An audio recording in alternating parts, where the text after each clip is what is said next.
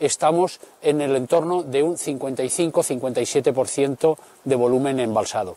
Por lo tanto, estamos en una situación excelente, teniendo en cuenta que la lluvia que hemos tenido hasta el mes de enero son 143 milímetros, que es exactamente la media de los últimos 32 años. O estamos dentro de la media, sin embargo, dentro de la, del agua embalsada estamos muchísimo mejor.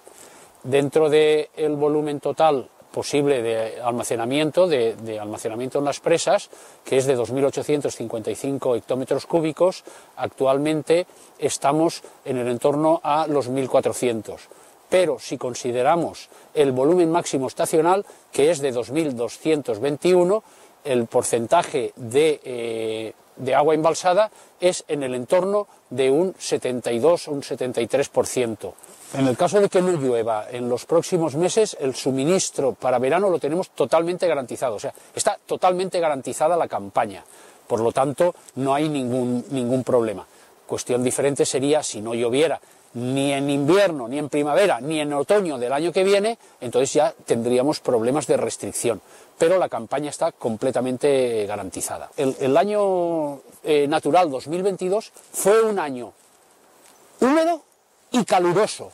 Entonces, ¿qué ocurre? ¿Qué nos ocurre a nosotros en la, en la cuenca del Júcar? Que cuando son años calurosos tenemos mucha evaporación de los embalses y mucha más demanda de consumo agrícola. ¿Por qué? Porque el terreno está muy seco y necesitan eh, humedecer ese terreno. Entonces, eso hace que eh, consumamos, consumamos más. De todas maneras, lo que he dicho, estamos bastante mejor que el resto de cuencas, porque en el resto de cuencas, bueno, pues no llovió. Y la cuenca del Júcar sí que tiene una cultura, al igual que la del Segura, tenemos una cultura de ahorro, de mucho ahorro. ¿Por qué? Porque siempre estamos rozando ese, esa hipotética escasez. El, el, volumen de agua que vemos que está saliendo, el caudal de agua que está saliendo, es eh, fundamentalmente es caudal ecológico.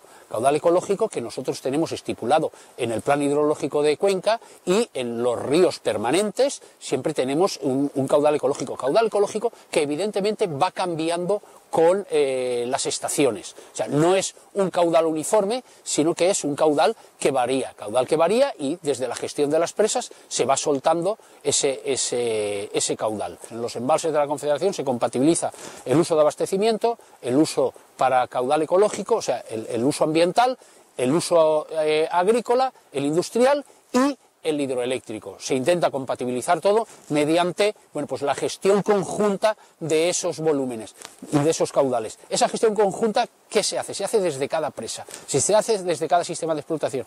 Eh, intentamos que sea lo más eficiente posible.